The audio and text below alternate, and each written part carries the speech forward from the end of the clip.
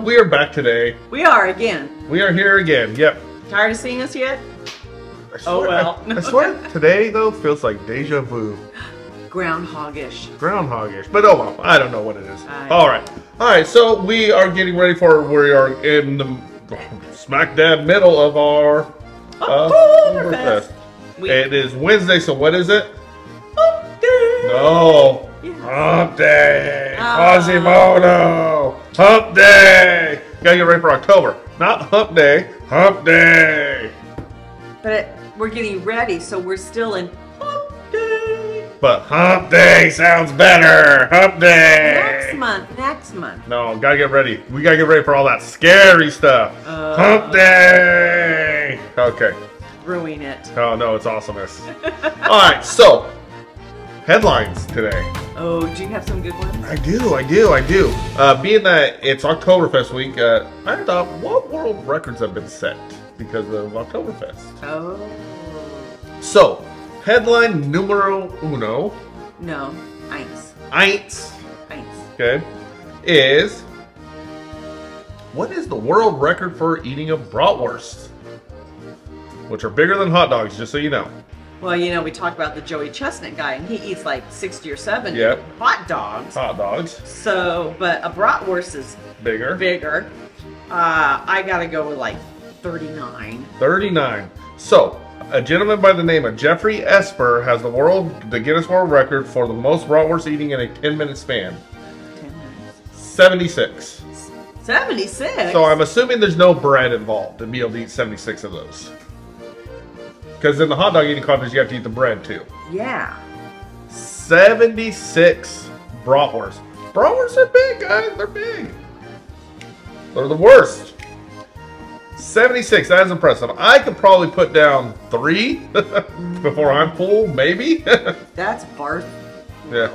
Oh, that that's some smelly barf. You know? Oh. Gosh, I wish they made like a shoe or something that would protect you from vomit. But hey, that's something. No, I don't know. Yeah. That's Yeah, crazy. Those yeah. things don't happen. Those don't happen. But 76, that is either scary or impressive. Unlike your throat. Unlike my throat. so, headline number two. So, continuing with the world records, what is the world record for beer drinking? Oh, is it is it time? Yes. Okay. Uh, no, no. No. It's uh, number of beers they do and how fast you can do it. Oh, Because because they don't do a lot, I don't think, because it could kill you if you drink too much alcohol. So they probably just alcohol assign. poisoning. Yeah, so they probably just assign a number, and that's what you have to drink. So uh, the world record I looked up, but the biggest one I could find was for seven pints. Seven pints. Seven pints of beer. A That's a lot of beer. That is a lot of beer. A gentleman by the name of Peter Dowdeswell did seven pints in 16.4 seconds. That's impressive. He must have just poured them down, just opened wide and poured. Seven pints in 16 I'm seconds. sorry, folks. Not many times I'm at a loss for words, but that's a lot of beer. So A a, of beer. pint is 16 ounces. Yeah. A bottle of beer is 12 ounces. Mhm. So it's like, you know. Yeah, so seven bottles of beer in 16 seconds. So Um, now, it'd probably be about eight bottles of beer, eight or nine bottles of beer, yeah. yeah. Ooh. That's impressive. That's impressive. impressive. So then I was just curious. I say, well, they had another category. How many pints you could drink in a three-hour span? Once again, won by Peter Dowdeswell. 90 pints in three 90? hours. 90 pints in three hours.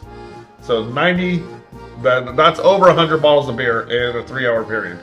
Well, you know, Wade Boggs did 100 cans of, cans of beer on a flight from Boston to California. So it's possible. That's like three quarters of a keg of beer. Three quarters of a keg of beer, yes. Hey, but if Wade Boggs can do it, who's one of the greatest American athletes ever, When was that? uh, he did that in the 80s. Really? Yeah, yeah, it's a true story. From a flight from Boston to, I think they were going to Oakland, maybe, uh, to play a game. Uh, he, he did 100 beers. How did he play the next day, though? He, I think he went like two for four or something like that. Come on, that's the guy that ate a bucket of chicken before every game.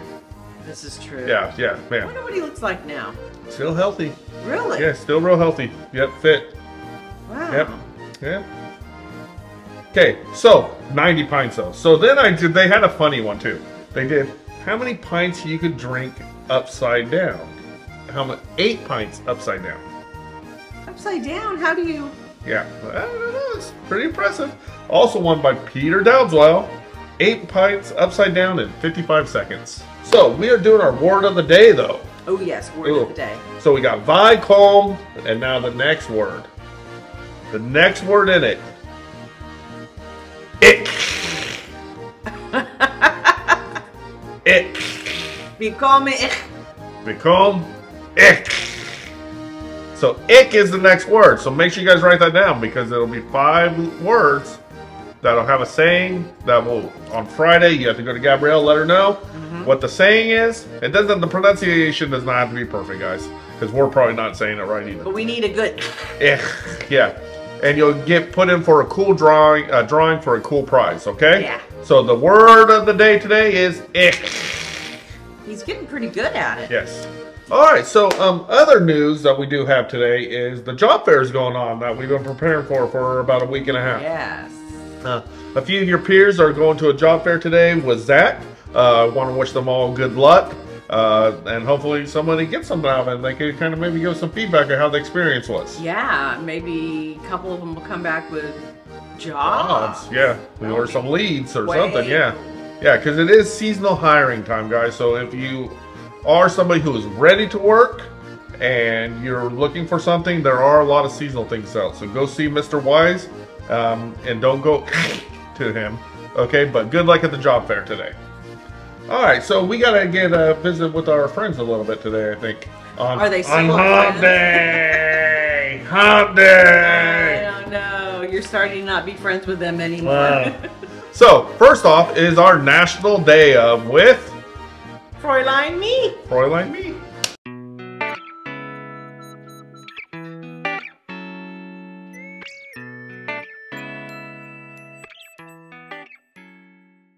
Good morning, everybody. It's Wednesday, and you know what day that is, right? It's Wednesday, September the 27th. you thought I was going to say it's Hump Day. Oh, yes, I might have fooled you. Probably not, but I got a kick out of it. That's all that counts right now. okay, enough of my silly self, but it is Wednesday. It is Hump Day. And, you know, I kind of on a a food kick right now here. So today's national day is National Chocolate Milk Day. Good old chocolate milk. I think I've told the story before. We had chocolate milk. I think I did a couple years ago. But it's always a good story. I tell it all the time, even if you've forgotten it.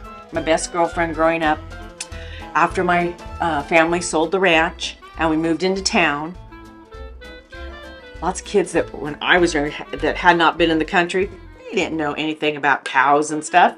I grew up on dairy until I was, you know, older. I told her that the brown cows, they gave chocolate milk. And the black and white cows gave the white milk. So the nice brown Jersey cows were the ones that gave the chocolate milk. She believed it. I had her going for quite a few years. I did. Nobody told her not until one day there was a bunch of us and we were going on a trip. And we were on a bus. We were on the church bus and we were going on a trip and we were, I don't know, going the coast or something like that and there was a big dairy. And she goes, Oh, look, all those brown cows. Those are all the cows that give us chocolate milk.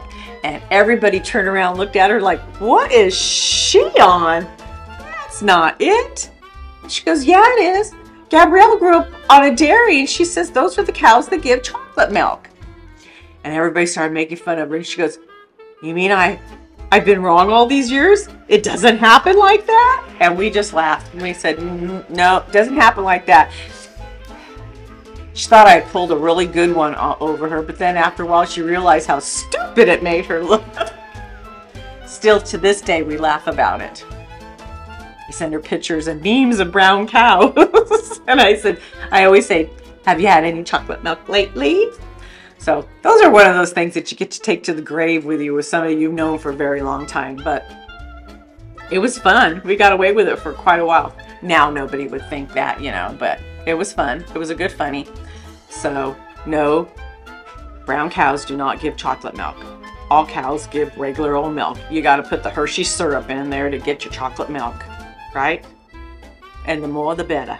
So you like chocolate milk, you don't want to make it, you can already buy it already made, but some good milk and some Hershey syrup in it, you got yourself some chocolate milk. So everybody have a great day and have a glass of chocolate milk.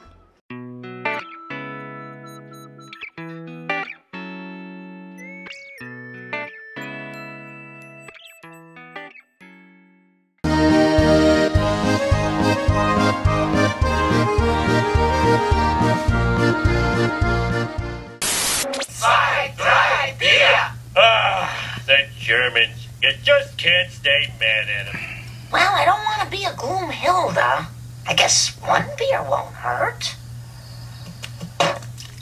Isn't that a little big? You can just nurse it. Nurse it! Nurse it! Have you ever walked on stilts? It's not that great.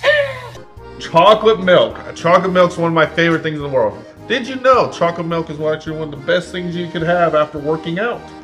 It replaces everything. But what do you consider a workout? And what are you some well what I do is work out where you sweat a lot You and sweat, you yeah. strain yourself, not just go and walk around the block or anything. Yeah, unless you're unless you're doing some speed walking or something. Yeah, but you know, saying I lifted some weights, that's not working out. No, Drink you- a half a gallon of chocolate milk. Yeah, and it shouldn't be a half a gallon. It should just be one of the little bottles of it. But you know, if you're lifting weights for like an hour, heavy lifting, then you want to do it because it will help you replace your muscle and build muscle. Yum. See, Yep. those brown cows know where it's Yeah, at. brown cows know how. well, yeah. All right. So next we got work-related stuff with the bearded wonder himself, Zach. Work related stuff Stuff. with Zach. Zach.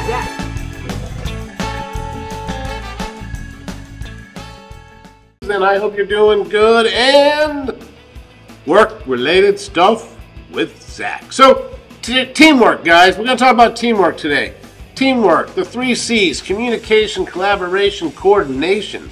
Um, these are uh, the three C's in a lot of companies that they use. Uh, communication is very important when it comes to teamwork. Uh, collaboration is obviously getting together with your team members to find out what, uh, basically what what, what tasks. Um, also, to uh, and and then coordinating. You know who needs to do what and get what done and when and where and all that fun stuff. But also, too, you guys, one thing about teamwork to remember. Sometimes teamwork isn't always necessarily working side by side somebody. Sometimes being part of the team is just accomplishing your job, right?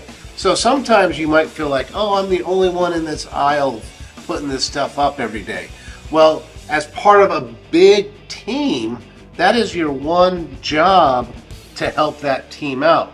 So even though sometimes it can feel a little thankless and feel like you're left out there on the island, remember, you're part of a bigger thing, which is the team, and you're part of helping that team by completing your own tasks. Obviously, if there's time permitting, or your boss possibly, you know, might come up and say, Can you assist so and so because maybe it's a priority? You know, that's teamwork as well. But like I said, sometimes teamwork is simply doing your job and getting that done. All right, you guys, so remember that. Remember the three C's communication, collaboration, and coordination. All right, guys, we're out of here. Bye. Work related stuff Stuff with Zach.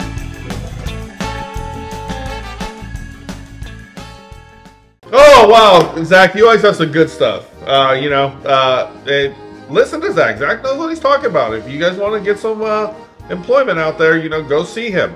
Okay, because he does know he has lots of connections. And hopefully it pays off for you too. Yep, it hopefully it pays off. Good luck again, guys. Okay, so you know that's pretty much our morning uh, routine today. You know, it's Wednesday. We'll have uh, uh, live today. Don't know who'll do it because Zach will not be here. He'll be at the job fair. We'll figure it out. We'll do something fun. Yeah. Yeah, we'll do something fun. Okay, so guys, have fun today, and it is Oktoberfest. And remember our phrase: it's V calm ick. And once again, happy Hump Day! Hump Day! It's ruining it, folks. Ruining it. All right, guys. See ya tomorrow on See the you Morning Routine.